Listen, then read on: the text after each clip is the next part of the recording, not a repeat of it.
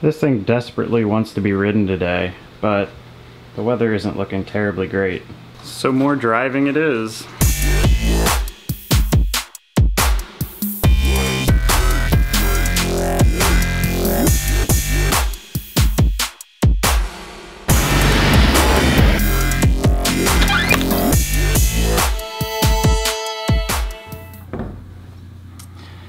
This isn't my first cup of coffee for the day. The first one is when I'm editing these videos.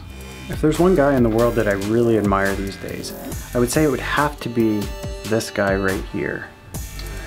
I'm sure you know Elon Musk, the rocket pioneer, the electric car pioneer, and he also does things with solar power and his newest adventure, the Hyperloop. Oh, and then there was this small thing back in the early 2000s called PayPal. Well, during the past several weeks, Musk has been in the news because Tesla, his car company, is working on buying Solar City, the solar company that he's involved with. His cousin's the CEO.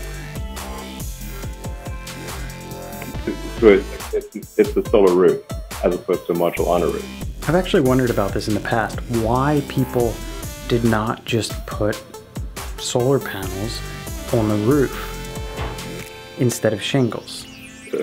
It's a beautiful roof. That that is a solar roof. It's not it's not a thing on a roof. It is the roof, and not something that is available really any, anywhere else. And it's quite a standout. He didn't elaborate if it was shingles or if it was the actual roof surface. There's one or two companies in the world already doing shingles. It just seems like a wonderful opportunity to kill two birds with one stone. You're getting a roof that makes electric. Now I could see there being issues with one side of the roof being north facing and shaded and the other side of the roof being southern exposure to the sun. Will he make a roof without solar panels for that? Either way, I think it's a really good idea. And years back, I was talking to my friend who's a solar installer in the area. And he said that most houses with a high efficiency panel can produce all of their power from their roof. But will he really be able to take the roofing industry by storm? Let's do some math. I found that for a shingled roof, the price varies between three and seven and a half dollars per cubic foot. Solar panels are not measured by the cubic foot. They're more measured by the watt.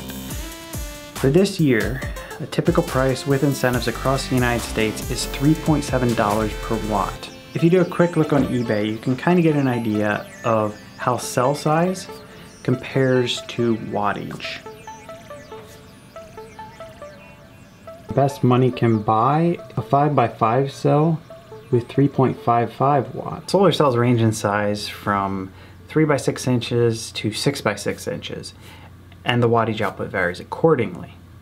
However, if you calculate it out on a watts per square foot, you end up with somewhere between 13 and 20 watts per square foot.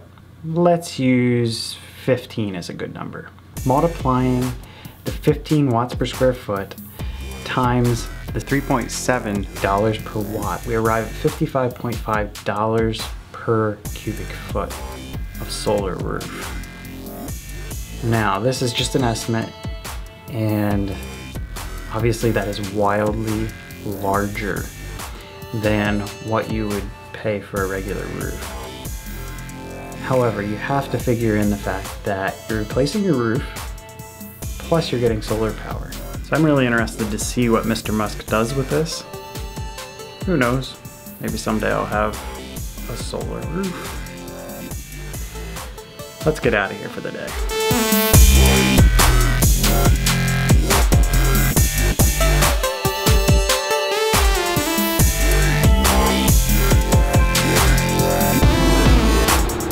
Well, Peter and I, boy, you fogged up. Yeah. It's like water dripping from the sky.